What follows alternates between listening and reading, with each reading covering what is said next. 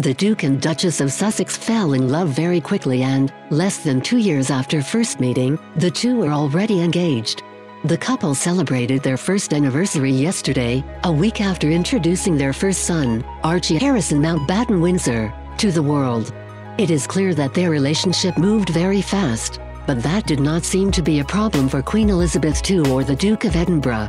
In 2019 Channel 5 documentary Meghan Markle, Movies, Marriage and Motherhood, royal author Katie Nicholl revealed how Prince Philip was instantly fascinated by the former actress.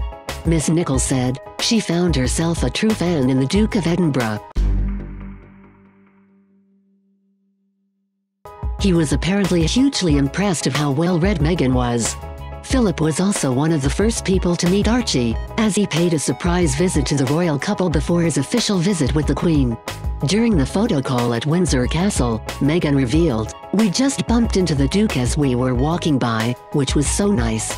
In the documentary, Miss Nicholl noted how the Queen also had a good reaction to first meeting the now Duchess of Sussex. According to the royal author, Her Majesty was so impressed by Meghan that after the couple's engagement, she took the unprecedented move of inviting her to spend Christmas in Norfolk, at Sandringham. Miss Nicholl explained, I was told that the Queen's feeling was this, she is preparing to give everything up for her grandson her career, her identity, her nationality, her home in Toronto. Everything to be with Harry. The Queen's feeling was the very least we can do is making her feel welcome at Christmas. Royal author Andrew Morton added, It was a tremendous break of convention that the Queen invited Meghan, who was after all just a fiancée, to Sandringham.